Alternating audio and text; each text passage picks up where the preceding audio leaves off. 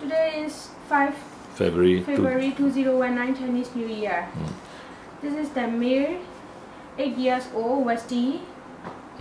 The complaint is that he had a very big wound here above the right elbow.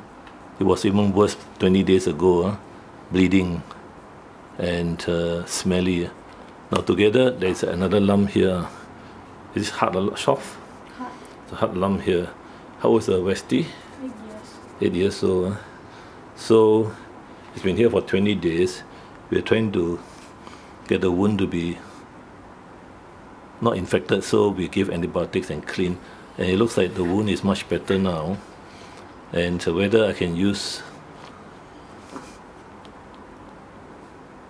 some is painful, some treatment to, to remove the excessive granulation tissue and close up the wound as well as to remove this lump. Now if I do it, I could bring down the skin, make a Z, Z plus T, Z-plasty if there's space, and try and close up the wound now. The other treatment is to use carbon dioxide laser to remove the granulation tissue. So these are the two possibilities.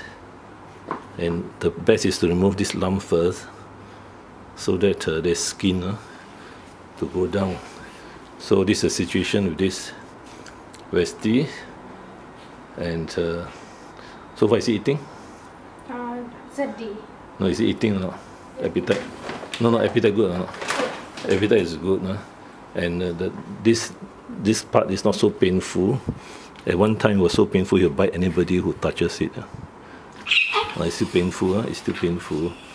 And uh, we will wash him and then, uh, yeah, we will still giving the painkillers. Okay, so you can go back already.